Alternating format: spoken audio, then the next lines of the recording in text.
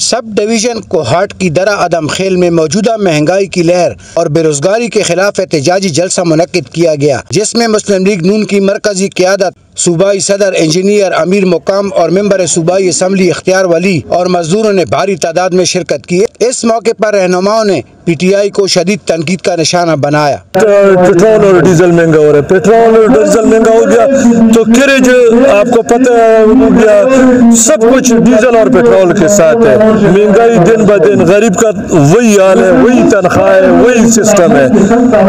मतलब उसके साथ मजदूर को भी होना चाहिए कि उसको भी उजरत मिले। जो तनख्वाहदार लोग हैं, उनकी तनख्वाहें वही है। महँगाई मतलब पचास रुपये का था, वो डेढ़ सौ तक पहुँच गया। तो ये कहाँ से लोग ये पूरा करेगा?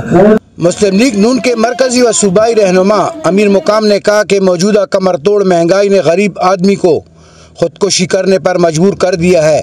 उन्होंने कहा कि मौजूदा हुकूमत आवाम को रिलीफ देने में मुकम्मल तौर पर नाकाम हो चुकी है। उसने वादे किए सारे झूठे साबित हुए। और हमने मैंने ये बात की कि अगर पूरे के पी के की लेबर विंग की प्रेसिडेंटशिप थी तो मैंने मजदूरों और कोयले के कानों वालों को दिए। ये मुस्लिम लीग की ईवानों में उनका आवाज़ ढूंढ जुटे और अपनी नुमाइंदगी करे। मैं तो कहता हूँ हुकूमत तो तौर पर खत्म हो चुकी है। अब हुकूमत तो चली गई है। वैसे अभी वही आप देख रहे हैं कि उसका वेंटिलेटर पर पड़ा हुआ इमरान याजी की कौम ने उसको मुस्तरद किया है। हर जगह नारे पार्लियामेंट ने भी उसको मुस्तरद किया।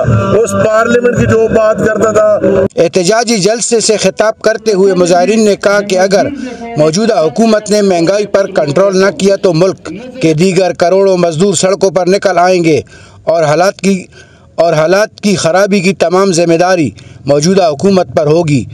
कैमरामैन रफीक शाह के साथ यासीन अवान